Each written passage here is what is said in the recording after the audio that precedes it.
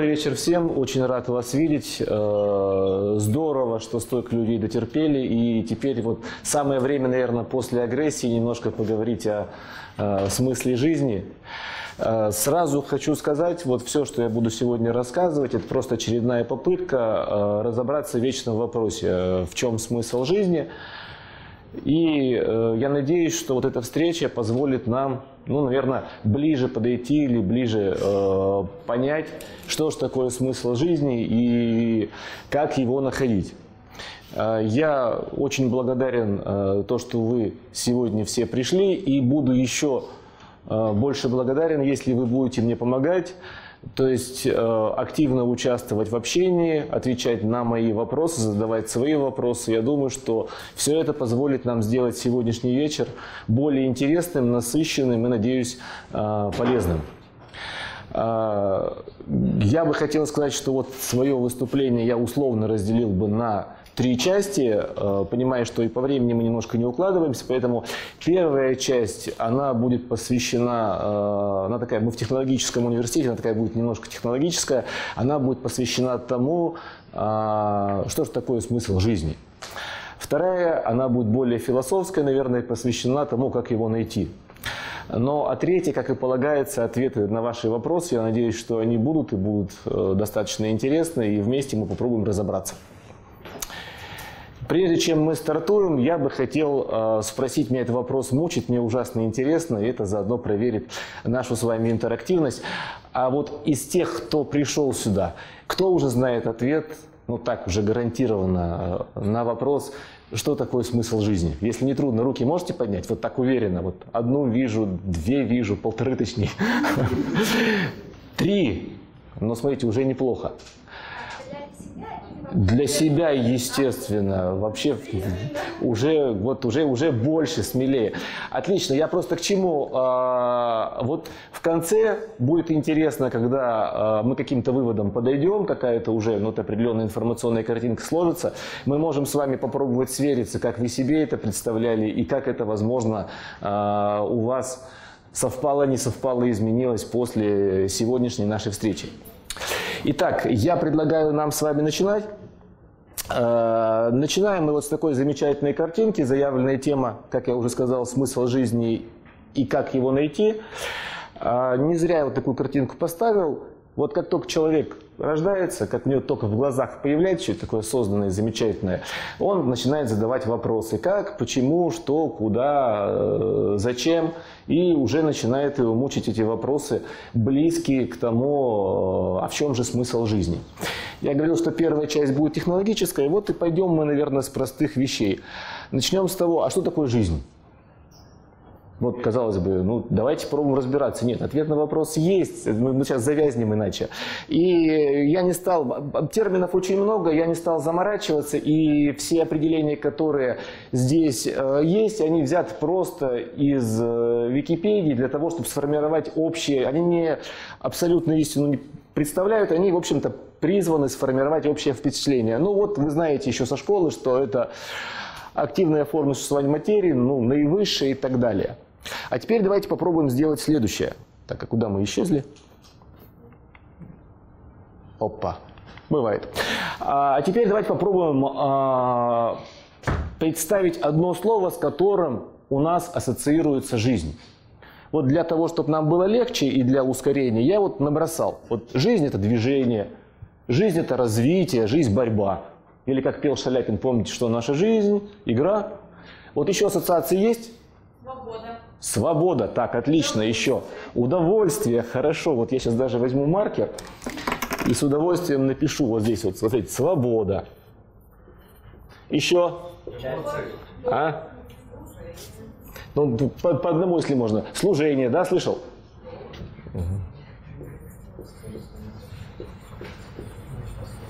Удовольствие, долг, да? Ну вот смотрите, ну эмоции хорошо. Ну пока вот набросали, чтобы представление было, к чему это все? Вот смотрите, э, в ответах на эти вопросы, простые, мы уже начинаем формировать канву понимания жизни. Почему это все важно? Потому что мы двигаемся дальше и переходим к понятию смысла жизни. Давайте помним, что такое смысл жизни. Опять заглядываем в Википедию и видим, что это философская или духовная проблема, имеющая отношение к определению конечной цели существования, предназначения человека как биологического вида, так как индивидуума. Ну, здесь, если разговаривать, э, вот в этом контексте все достаточно просто. Если мы берем человека как биологический вид, то смысл его жизни сразу понятен, прост – это воспроизводство как любой нормальный биологический вид, он должен продолжаться, и, естественно, а, здесь все понятно. А вот с точки зрения индивидуума, это уже намного намного все интереснее. Давайте посмотрим. А вот теперь давайте то же самое, что с жизнью, попробуем сделать со смыслом жизни. А вот смысл жизни, он у нас с чем ассоциируется? Вот для затравки вам. Этот вопрос очень часто задают, ловят людей на улице, а в чем смысл жизни? Как правило, наиболее традиционный ответ, они не проранжированы, они вот такие, там, дети, любовь, деньги, власть. Очень частый ответ, смысла жизни нет, родили, надо жить. Все, жить и мучиться. Есть мысли какие-то, что можно дописать сюда? Саморазвитие. Саморазвитие, саморазвитие. очень интересно, смотрите. Саморазвитие. Карьера. Оставить вклад себя. Карьера. Было счастье, да? Кто, кто сказал счастье? Отличный. Познание? Но познание близко к развитию. Хорошо. Специально для Игоря Николаевича допишем познание.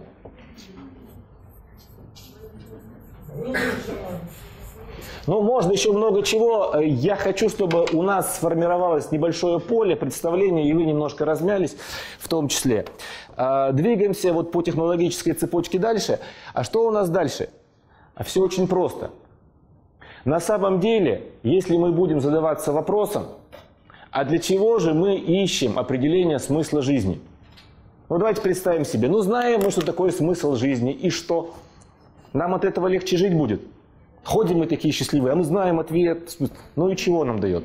На самом деле мы верим в то, что смысл жизни даст нам счастье, даст нам понимание, как правильно жить, что нас приведет к счастью. На самом деле, вот правильно думать, что мы хотим быть счастливыми. То есть на самом деле каждый человек рождается, чтобы быть счастливым. Давайте двигаться дальше. А что же такое счастье? Опять же заглядываем в Википедию и видим уже знакомые нам ответы.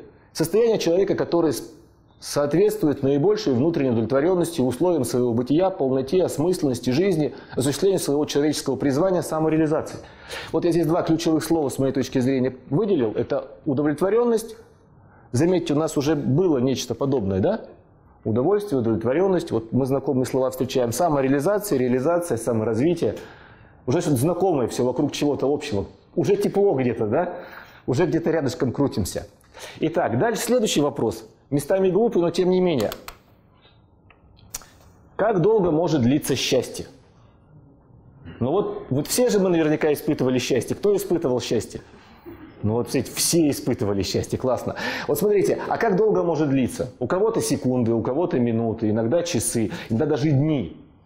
Но, как правило, все вы, наверное, согласитесь, что счастье, оно у нас, ну, конечно. А так хочется быть счастливым всегда. Кто не хочет быть счастливым? О, вы уже счастливы, я понял. Нет, просто мне кажется, что если всегда быть счастливым, то теряется много возможностей. То есть, например, может, ты что-то осознаешь во время грусти. Просто всегда счастливый это идиот. Понятно, Такой ответ тоже может. На самом деле и то, и другое близко, но на самом деле, если мы говорим о том, что мы хотим быть ну, счастливы долгое время, то, наверное, мы переходим в другую плоскость, она называется гармония. На самом деле, а, все, к чему мы с вами стремимся, это достижение определенного баланса. А, или, как мы говорим, гармонии. И не зря есть знаменитая фраза, что счастье в гармонии. Давайте сделаем следующий шаг. И это последнее определение на сегодняшний день, взятое из Википедии. Что же такое гармония?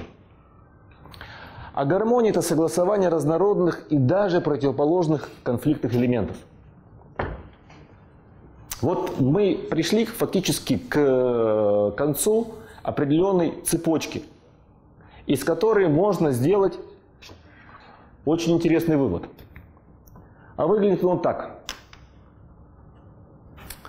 На самом деле смысл жизни в поиске, достижении, поддержании внутренней и внешней гармонии. Ну или по-другому баланс основных наиболее для вас важных составляющих бытия. Вот ни много ни мало, а вот такой промежуточный вывод. Ну вот кто-то из вас скажет, вот такой умный пришел и все запутал. Сначала был непонятно смысл жизни, что это такое, а теперь другое непонятное, какая-то гармония. Вот если пришел и понятно объяснил, что делать, куда идти, как по шагам все разложить, чтоб раз и был счастливый, раз и гармония, раз и смысл жизни. Да? Было бы здорово. Кто хочет алгоритм? А? Хотят? Хотят алгоритм. Ладно, их есть у меня для вас. Итак, три простых навыка и один большой секрет для достижения гармонии. Еще раз подчеркиваю, именно гармонии. Потому что с моей точки зрения э, смысл это больше такое общее философское понятие, а вот состояние, в котором мы должны пребывать, для того, чтобы у нас не возникало потребности искать смысл жизни. Вот я просто спрошу, как правило, когда человек счастлив, он ищет смысл жизни или нет? Как правило, нет, да? А когда он ищет смысл жизни? Когда у него что-то где-то вот, ну, не получается или не сходится. И он говорит, вот что-то не так, вот, ну зачем я, вот, вот где там, что. Итак, давайте попробуем. А вот здесь будет все на самом деле интересно. С одной стороны, я обращаю внимание, буду несколько раз к вам обращаться, э, чтобы вы вспоминали об этом. Здесь есть э, ключевое слово «навык». Понимаете? Навык – это некая, ну, скажем так, по-другому, привычка. Привычка что-то сделать. То есть вы должны выработать эту привычку с одной стороны. А с другой стороны, вот все, что я буду э, вам сейчас говорить, вам будет до безобразия знакомо. Но от состояния до безобразия знакомо до умею и навык есть большая разница. Просто поясню простой пример. А, вот а, кто из вас знает, как ездить на велосипеде? Все знают, ну да, наверное.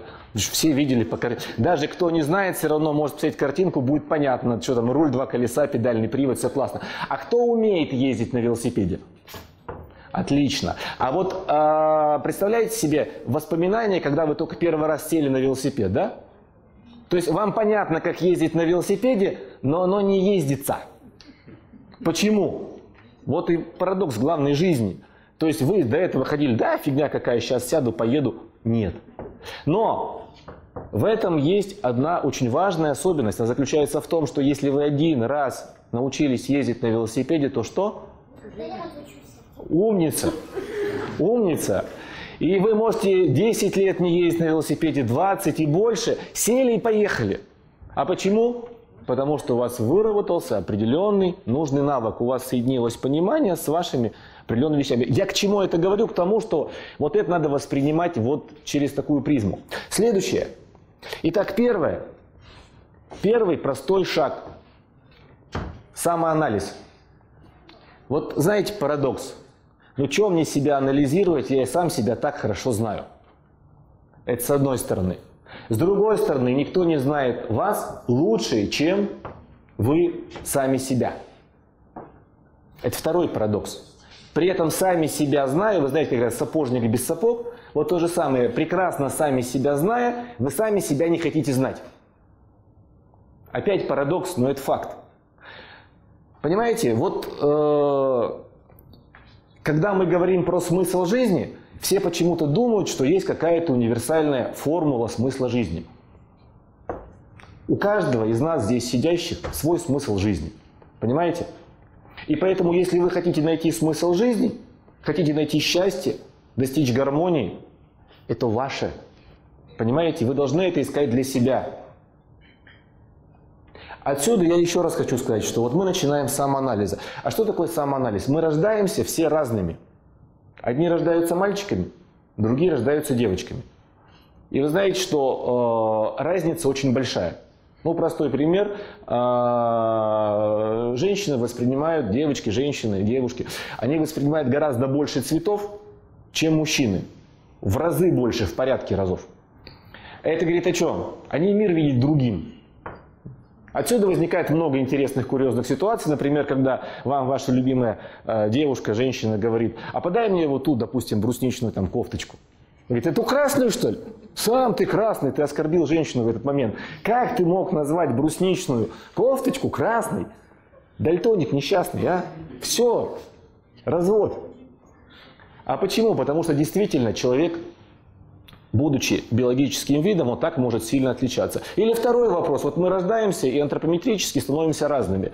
Кто-то вот повыше, как я, кто-то пониже, кто-то пополнее, кто-то вот... Оказывается, при этом люди совершенно по-разному себя чувствуют, осознают. Ну вот простой пример вот приведу еще э, про себя, мой любимый. Когда я э, купил квартиру, жена сказала, холодильник моя территория, все, не лезь ко мне, вот тут я буду делать все сама. Я говорю, хорошо, у меня только одна просьба, будешь покупать холодильник, пожалуйста, э, купи так, чтобы у меня сверху была холодильная камера, снизу морозилка. Она говорит, да, конечно, без проблем, все нормально. Покупает холодильник, его привозят, распаковывают, ну, естественно, все наоборот. Морозильник сверху, холодильник. Я говорю, ну, милый, я же просил. Он говорит, какая разница? Объясняю. Надо объяснять. Каждый вечер я кланяюсь холодильнику. Вы понимаете, когда мне лень кланяться холодильнику, мне говорят, ну это там. Я говорю, где там? Ну там. Вот я говорю, ну где? Вот. Залез, все, нашел. А вот. Но почему? Потому что действительно человек привык, он по-другому живет. А, но самое интересное происходит с нами в процессе социализации. И на самом деле, вот если от шуток перейти к серьезному, когда мы говорим про самоанализ, это поле наших возможностей и поле нашего потенциала. Потому что если мы хотим достигнуть гармонии, то мы хотим достигнуть, реализуя себя. И здесь мы очень четко должны себе отдавать отчет, что лучше нас себя никто не сможет понять и вот эти вещи оценить. Поэтому здесь очень важным является, чтобы вы для себя это зафиксировали. Когда я говорю навык, надо понимать, что мы с вами разви, ну, развиваемся. Мы развиваемся каждый день, даже сами себя не замечая. Что-то прочитав, что-то посмотрев, с кем-то познакомившись, с кем-то пообщавшись. Мы меняемся постоянно. И вот эти изменения мы должны для себя чувствовать и фиксировать. И еще нужно слушать себя. Нужно слушать свой организм, он очень много чего нам полезного подскажет, расскажет. Я уже не говорю, что у каждого из нас разное состояние здоровья, у каждого из нас эмоциональный разный фон и так далее. В общем, э, пока в этом месте мы про самоанализ завершим, следующее. Как вы думаете, что следующее? Рано еще. Рано, ну, что Анализ внешней среды. Ведь если мы будем реализовывать себя, свой творческий потенциал, свои возможности и так далее, мы же их будем реализовывать не где-то. Мы их реализуем в окружающем нас мире, среди людей, с которыми мы живем, которые такие же, как мы, от нас очень сильно отличаются при этом. Мы их будем реализовывать, живя в конкретном месте. И здесь возникает тоже очень большой вопрос. Очень часто мы об этом не думаем. У нас что-то не получается, но мы не, не пытаемся понять, почему это происходит. Ну, например, если вы, ну, к примеру, знаете, что такое керлинг? Вы очень любите керлинг, например, и хотите стать вот, ну, спортсменом, который играет в керлинг, а живете в Иш-Короле, а хотите керлинг. Ну, понятно, что у вас ничего не получится, вот, но тем не менее, это надо понимать, просто для себя осознавать. Ну, или если, например, ну, совершенно разные примеры. Вы хотите, например, заниматься балетом, то у вас здесь есть шикарные возможности, потому что у нас есть возможности для развития балетом и так далее. И поэтому вот та среда, в которой мы живем, вот если у вас, а, допустим, есть дети, то что вы пытаетесь сделать? Вы пытаетесь дать детям максимально возможность ну, раскрыться, почувствовать, где у них получается, не получается, опираясь опять на ту же самую среду, которая у нас с вами есть. Поэтому среда – это среда наших с вами возможностей для реализации нашего потенциала и достижения гармонии. То есть вот в этой среде мы с вами становимся счастливыми или несчастными.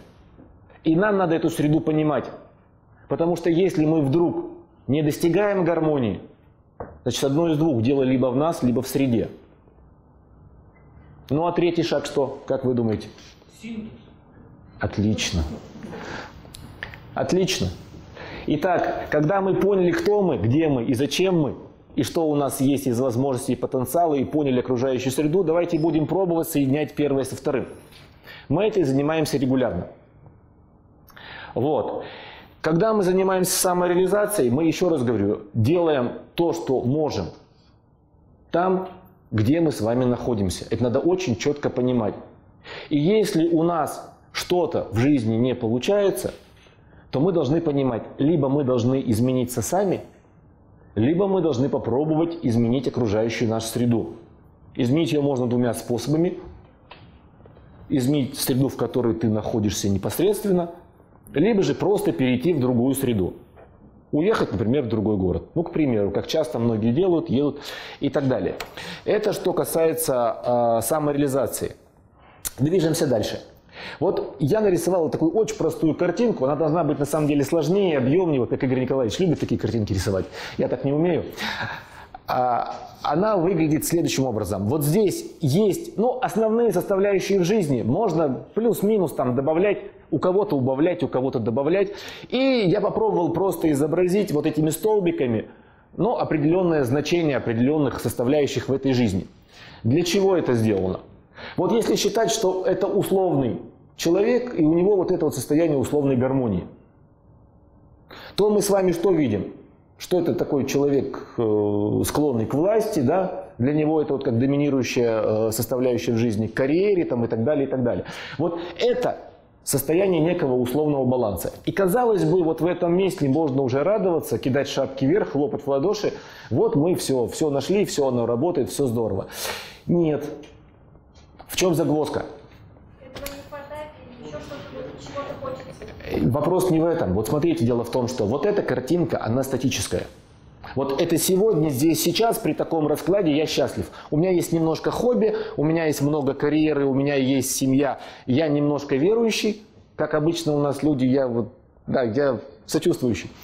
А, вот, соответственно, мы э, ценим внешнюю оценку, для нас не так важна самооценка там, ну и социальная значимость. Кстати, вот про социальную значимость я отдельно скажу. Есть некоторые вещи, которые являются очень важными. На самом деле мы их недооцениваем, но они являются очень важными. Я бы вот здесь выделил бы две. Первая – социальная значимость, ну или по-другому, как еще называют простым языком, нужность. Вы знаете, большое счастье, когда ты нужен. В принципе, нужен. Вот ты пришел, и все тебе рады. Вот, понимаете, а, это, к сожалению, многими недопонимается и многими не ценится. Почему это важно, я немножко позже скажу. Ну и второе, что является очень важным. Как вы думаете, что? Для всех? Здоровье. Абсолютно верно, здоровье. Ибо дабы, что бы вы ни делали, как бы вы к власти не стремились, если оно у вас нарушится, я вас смею уверить, смысл жизни у вас поменяется. Кстати, многие э, люди думают, что у них вот есть смысл жизни, они его найдут и пойдут с ним по жизни. Как правило, да, они его находят, но он регулярно меняется. Вот такое это вот э, непостоянное явление, оно может меняться, поэтому э, это тоже надо понимать. И когда мы говорим про гармонию, мы должны понимать, что вот э, в этой картине стабильной у нас должно быть определенное количество составляющих жизни, которые могут нас удерживать в этой гармонии. Такие своего рода якоря. Но о них я немножко позже скажу. Теперь я скажу э, о главном. Вот казалось бы, все красиво, все хорошо, все здорово, что плохо?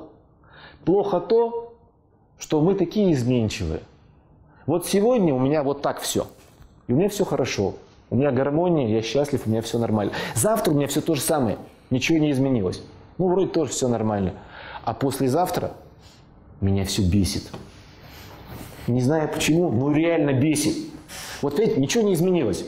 У меня и денег столько же, и семья та же, и работа та же, и вот, ну все то же самое. Но что-то пошло не так. А что пошло не так? Не знаю. И вот все пошло не так, и вот все, надо искать смысл жизни срочно. Заново. Вот. А что пошло не так? Дело в том, что мы все вот такие изменчивые, живем в среде таких же изменчивых людей, а эта среда всего э, вместе генерит еще среду, которая вокруг нас меняется, социальную. И вот здесь мы приходим э, к очень интересному состоянию, что если у нас нет устойчивого баланса, мы его не выработали, мы его не умеем вырабатывать, ощущать, то мы очень подвержены внешним воздействием, ну, то, что называется э, дисгармония, дестабилизация, дисбаланс и так далее. С чем это бывает связано? Чаще всего это э, так называемые шаблоны губительного мышления. Вот тут мы подходим к главной хитрости. Я про большой секрет. Вы же забыли про большой секрет, а я помню. Итак, в чем заключается большой секрет? А он заключается в том, что мы сами себя делаем либо счастливыми, либо несчастными. Вот в чем парадокс. У нас изначально при рождении есть все, чтобы быть счастливыми. Можно встать утром и сделать себя счастливым. И так делать каждый день. Вы не поверите, это нормально. Это существуют специальные практики, и ты ничего не меняя, просто себе создаешь нормальное, хорошее настроение и с ним живешь. А это хорошее настроение генерит вокруг тебя хорошее поле, у тебя все прекрасно. Но мы так не хотим, мы не ищем легких путей, поэтому мы чаще всего подвержены всяким девиациям. А как вы думаете, почему с нами происходит девиация? А почему так принято? На самом деле это все зависит от э, нас самих, как мы настроены. Здесь не хватает одной хитрости, вот она какая. И заключается в следующем. Здесь мы видим 9 реакций на одно и то же самое событие. 9 реакций одного и того же человека на одно и то же самое событие. А чем они отличаются? Мы на самом деле с вами думаем, что жизнь устроена каким образом? Происходит какое-то событие, и мы на него реагируем. Так ведь? Ну вот реакция. А вот не так. На самом деле мы реагируем не на событие, которое происходит, а знаете на что? Нет, не совсем на чувства. Еще версии есть? Ну, близко все. На самом деле, на самом деле мы реагируем на нашу интерпретацию этого события, на наше восприятие, как вы правильно говорите, наше событие. То есть, на самом деле, событие может одно, а среагировали мы по-разному. Почему? Потому что вот вчера человек к тебе приходил, улыбался, ты ему улыбался в ответ, все было хорошо. А вчера тебе сказал, что он на самом деле улыбается, про тебя гадости думает. И сегодня он пришел, тебе улыбнулся, ты говоришь, а, я знаю, я тебя раскусил, ты гадости про меня думаешь. Не буду тебе в ответ улыбаться. Все. И сделал ему какую-нибудь страшную рожу. Все. Понимаете вопрос в чем?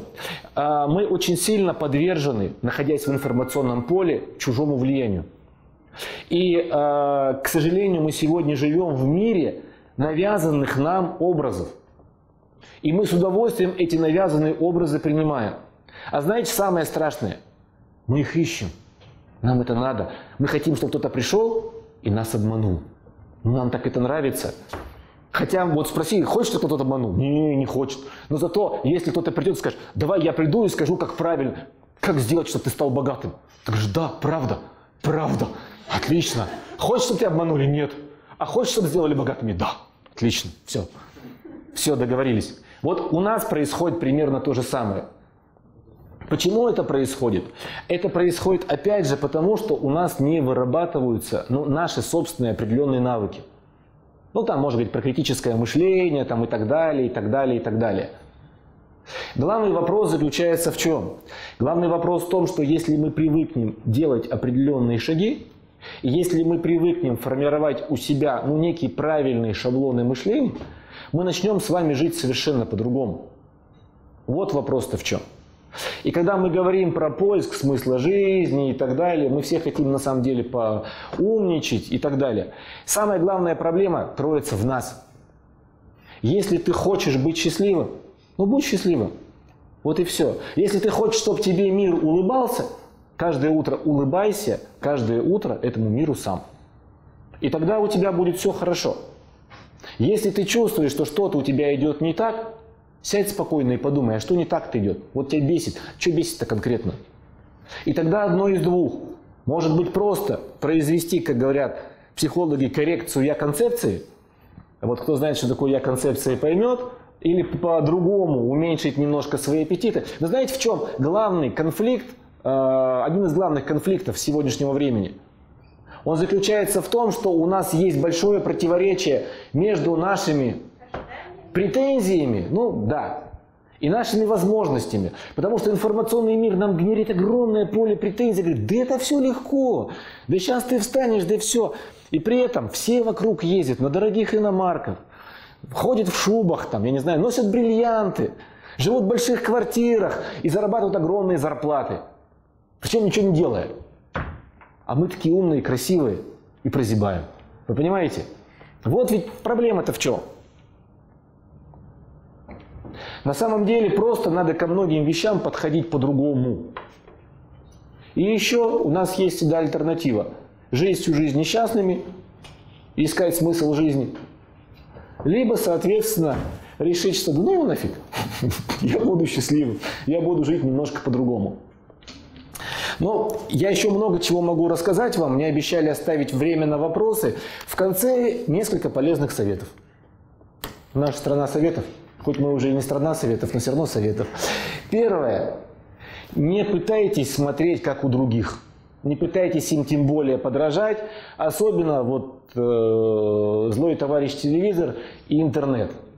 Вы понимаете, у нас ведь, ну это кошмар на самом деле. Я прочитал, прочитала в интернете. Все.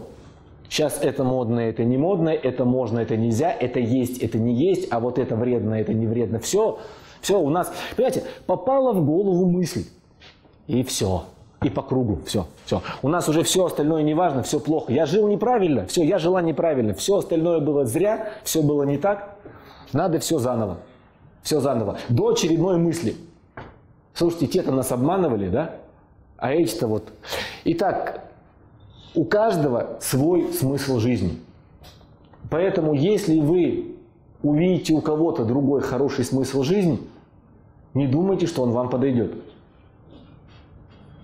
И поэтому, если кто-то к вам придет, такой умный, хитрый, подмигивая, слушай, у меня есть немножко смысла жизни, пойдем я поделюсь, вот, подумайте, стоит ли его смысл жизни-то себе брать.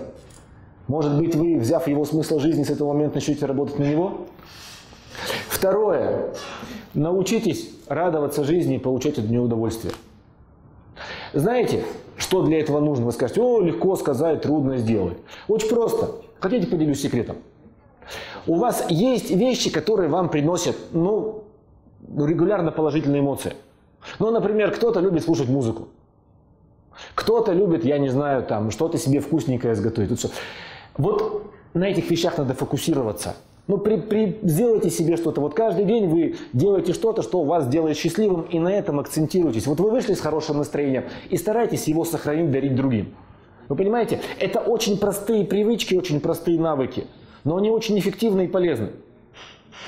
Если вы начинаете загоняться, вы чувствуете, что вы загоняетесь. Не позволяйте этому вас загонять.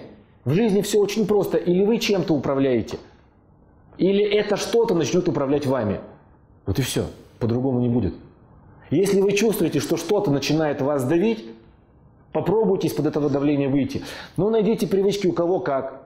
Кому когда страшно, он там вспоминает там какие-то, ну, тренингов, привычек. То есть можно много чего найти, э, разных практик. Сейчас я просто в детали не хочу удаляться. Просто попробуйте действительно получать удовольствие и улыбаться жизни чаще обязательно не останавливаться в развитии. Вот главная наша проблема заключается в том, что мы очень часто вот просто сели вот так, свесили, вот сейчас оно где-то приплывет, что-то полезное нам, вот с неба упадет, там еще откуда-то, и мы будем счастливыми, кто-то придет, вот знаете, вот сидеть так вот и философствовать или фантазировать, вот там придет человек, он там сделает меня счастливой, там еще что-то.